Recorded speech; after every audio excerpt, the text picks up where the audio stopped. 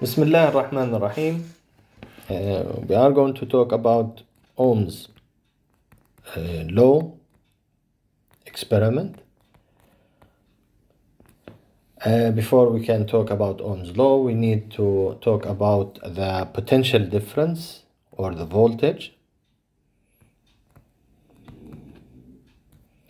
And the unit for that is volt.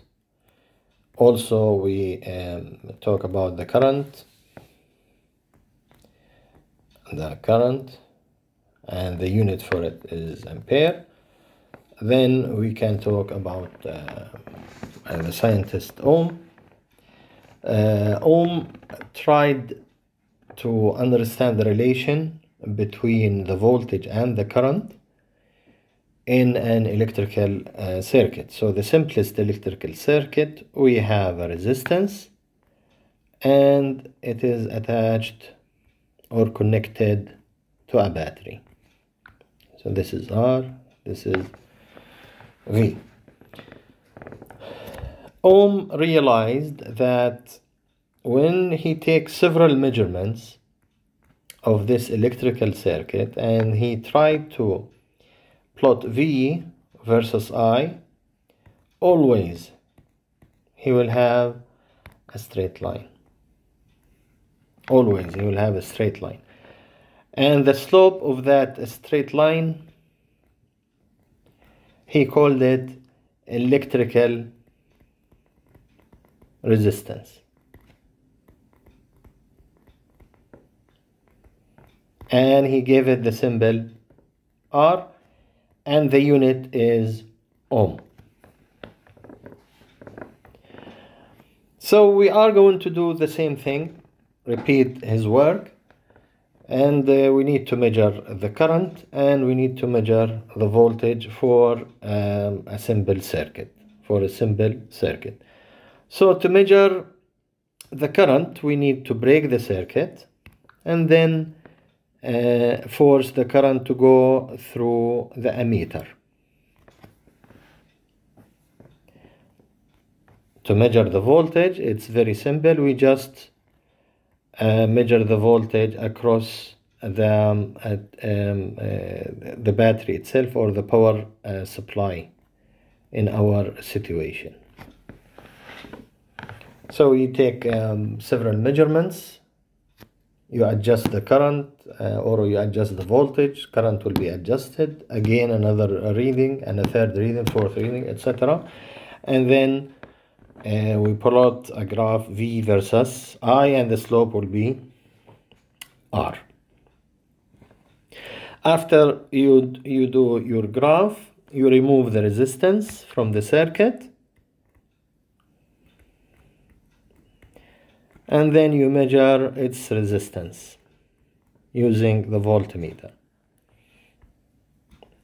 So you have R measured and we have R from the graph and we compare them within experimental error. They should, they are supposed to agree within experimental error. So that's the first part.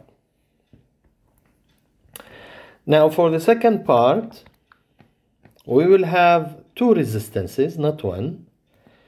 And the two resistances are connected in series. In series. So we have R1, we have R2. We connect them to our power supply. This is our circuit.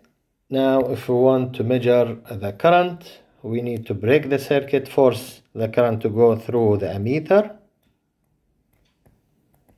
And to measure the voltage, simply we measure the voltage across the terminal uh, power supply, across the uh, power supply itself.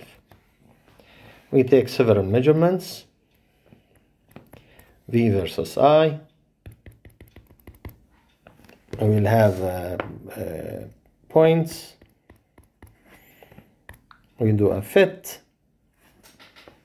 linear fit and that slope is our R equivalent R equivalent. What is R equivalent in series? Well, R equivalent in series is equal R1 plus R2 plus whatever resistances are connected in series. So after we finish the experiment, we take out the two resistances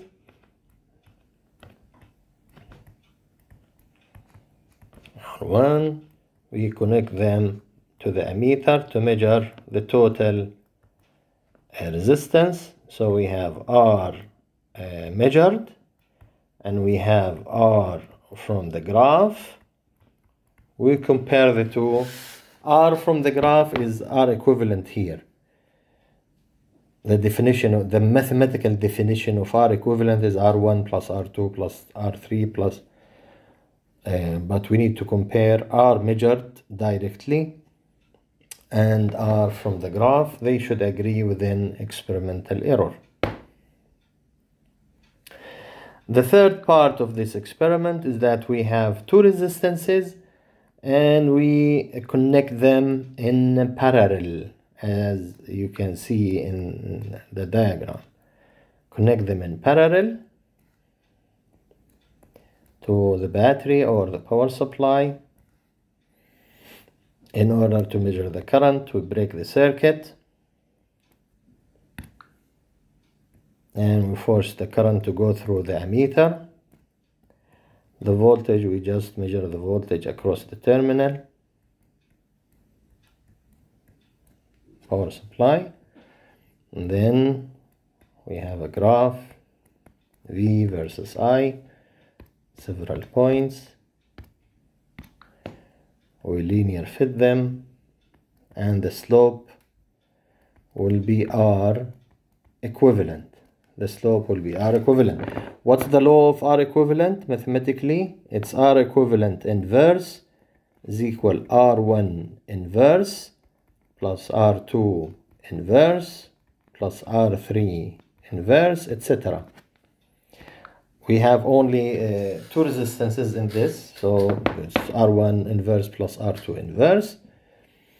So we uh, after we finish uh, the data we remove the two resistances from the circuit.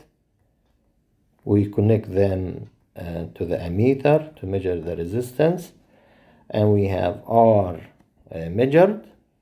And we have r equivalent uh, from the graph and we compare them within experimental error.